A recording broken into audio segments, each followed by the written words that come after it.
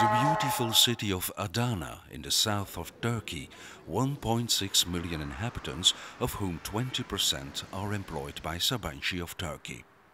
Temsa has been building buses in Adana for 20 years and has become a strong player on the European market. Our uh, target is uh, we look for 10% market share from Europe.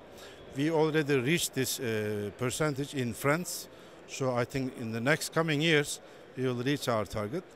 Uh, we are a newcomer, but uh, we are coming from a, good uh, background. Temsa builds 900 buses and coaches of 12 meters and more and 1400 minibuses each year.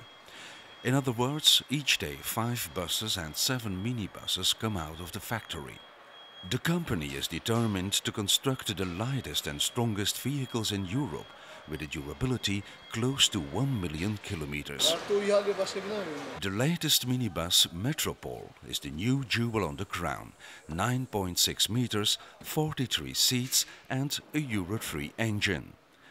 Temsa has achieved an investment of 15.8 million euro by the end of 2006. Next year, uh, I think uh, we will be more in the uh, short distance uh, segment and also we have some plans to have shorter version of city buses like uh, we uh, had our first step with our new product called Metropol.